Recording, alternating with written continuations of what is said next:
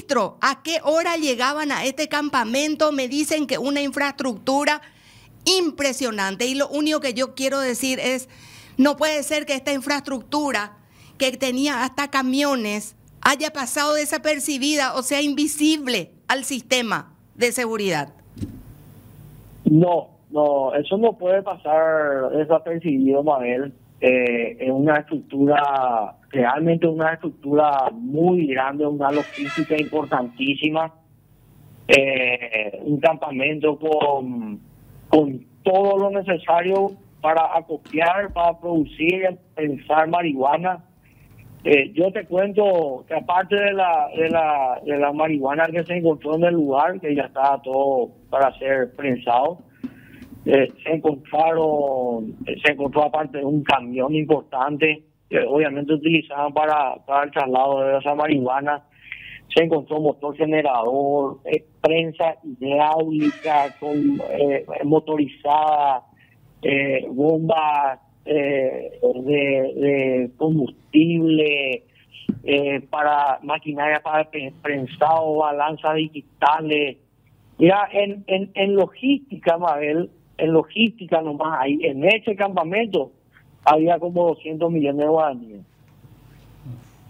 Qué barbaridad. Y estábamos viendo en las imágenes también hasta están de tiro y un camioncito de importante porte, no es un camión de mediano porte o de pequeño porte, eh, moviéndose. Quiere decir que están utilizando caminos vecinales para moverse, entrar, meter y sacar las cosas. Y mira, Mabel, ahí hay, hay que aclarar algo. Anteriormente este grupo eh, se movía campantemente por, por la, la ruta eh, de la residencia. O sacaban por ruta sus productos. Eso cambia desde el momento en que eh, se intervino y llevamos a cabo la operación en diciembre del año pasado. Entonces este grupo criminal se repliega y empieza a moverse eh, y a través de los caminos internos, de los caminos rurales de Camino Es por eso que este este camión, este no es el único, Mabel, este es uno de los campamentos eh, que utiliza este grupo criminal. Eh, es un campamento importante, pero no es el único, ¿verdad?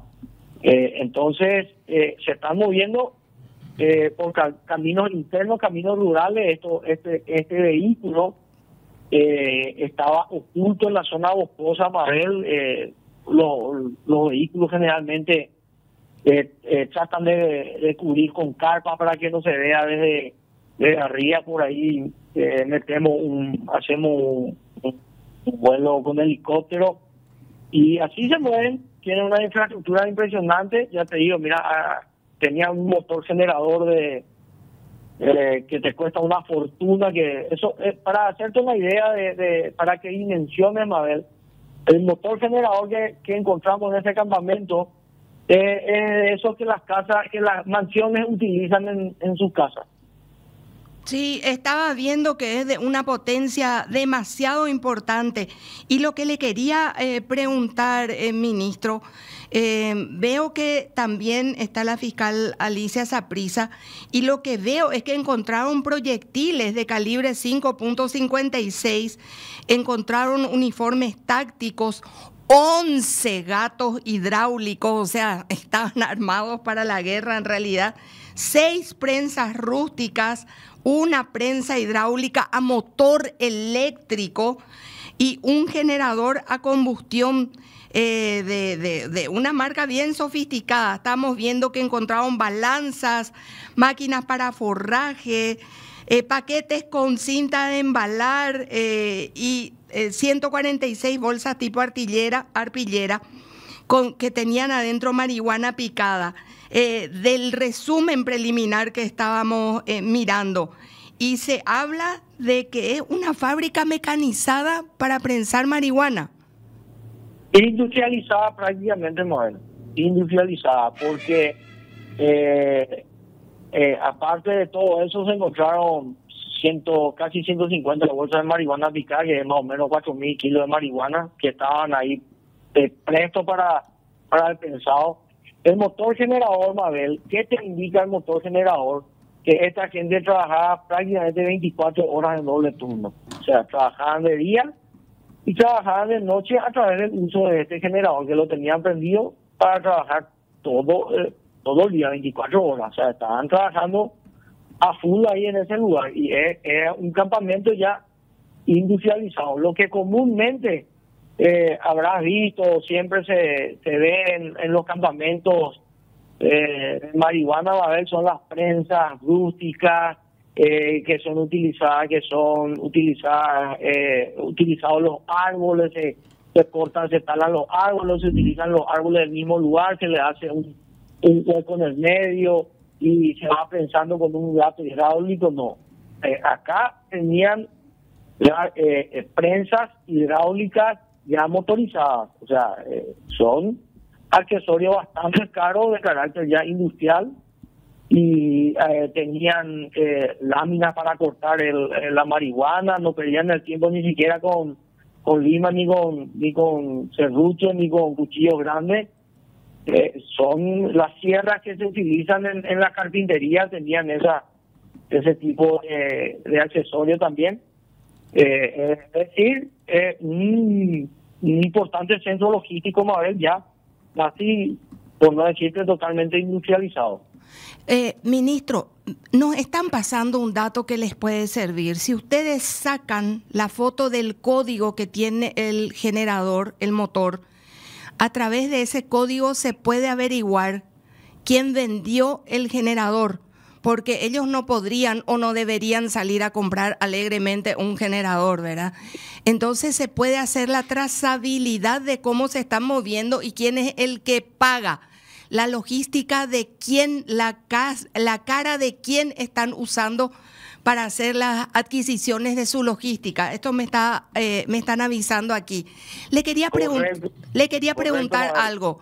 ¿Encontraron ustedes el sistema de campanas de indígenas eh, antes de llegar a este lugar o tuvieron que moverse durante la noche para meterse aquí, ministro?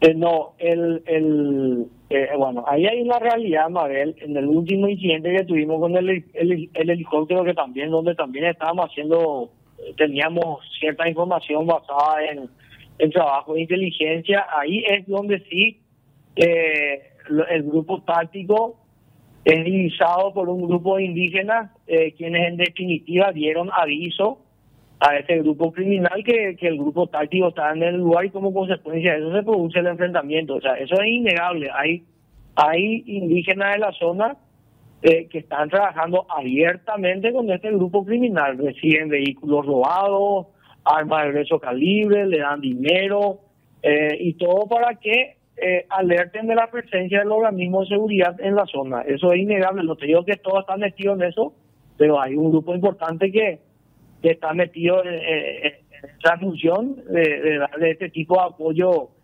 comunicacional, por decirte de alguna forma, a, a este grupo y lo peor de todo, ministro, es que esto es, ha sido como un elefante moviéndose en una cristalería y resulta ser que nadie veía, nadie escuchaba, nadie nada. Se puede cuanto menos presumir que los que están en la zona o estaban siendo aceitados para no ver ni escuchar hacer la gran Shakira o simplemente tenían miedo, pero no, lo que no puede ser cierto es que nadie haya visto todo esto. Absolutamente. Así como decís, Mabel, eh, sin agregarle nada más. Ministro, a mí me pasaron mis fuentes que uno tiene también por ahí, de que Felipe Santiago Acosta, más conocido como Macho, ya no estaría en el país. ¿Ustedes tienen también esa información? Eh, Mabel, eh, él se está moviendo acá eh, localmente. él está en el departamento de Canindeyú que y las, las los indicios que tenemos y nuestras investigaciones eh, eh, estamos llevando a cabo eh, SENAP tratando inteligencia y con la presencia del CODI ahí en, en de nos indican que ellos se siguen moviendo en esa zona. Y el ejemplo más claro de esto, vamos a ver este campamento calentito, con camión, con logística, con, motor generador, con prensa hidráulica que había en el lugar. Qué bárbaro. Bueno, ministro, eh, fuerza para ustedes. Miren que verlos a ustedes personalmente dirigir estos operativos, sí, están arriesgando su vida igual que sus, eh, sus chicas y sus muchachos parte de la operativa, así que eh, fortaleza para usted, para la doctora Saprisa también que está acompañando esto y... Qué difícil, solamente eso. Eh, nosotros acá detrás del escritorio puede ser muy fácil estar informando, reportando, pero son ustedes los que están caminando por esos bosques sin saber si les van a salir enfrente con armas que a veces ni ustedes tienen. Es, difícil el trabajo, Mabel, se complica aún más eh, por la gente desleal en la zona, eh, por los, lastimosamente por estos grupos indígenas que trabajan eh, a favor de estos grupos criminales, eso está totalmente demostrado eh, y evidenciado. Es difícil, pero yo, mira, y acordate de lo que yo te digo hoy, no nos van a ganar.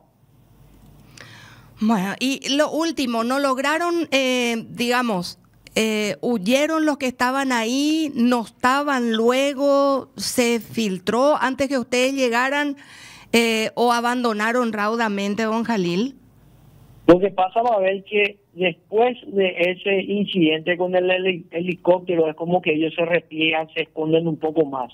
ocurrió lo mismo en Ignis, que se movían campantemente por todas las rutas nacionales ahí, eh, se replegaron y ahora volvieron a levantar otra vez la cabeza. Lo importante, Mabel, es que estamos detrás de, esta gente. Eh, y seguimos trabajando. Yo personalmente estuve eh, estoy recorriendo la zona, eh, estamos coordinando trabajo con el CODI, eh, eh, que para nosotros eso es estratégico y es fundamental que el CODI esté ahí en, en. ¿Por qué? Porque es nuestra fuerza operativa con recursos humanos importantes, tácticos, con quienes combinamos nosotros como Senado, nuestra inteligencia y, después compartimos esa información y, llegamos a estos resultados, más Felicidades por este operativo también, ministro. Gracias por atendernos, señor, y que estén bien todos los que están haciendo estos trabajos en un lugar, en una zona que se ha convertido una zona absolutamente infestada por el crimen organizado. Un abrazo, señor. Gracias, Mabel, a las órdenes.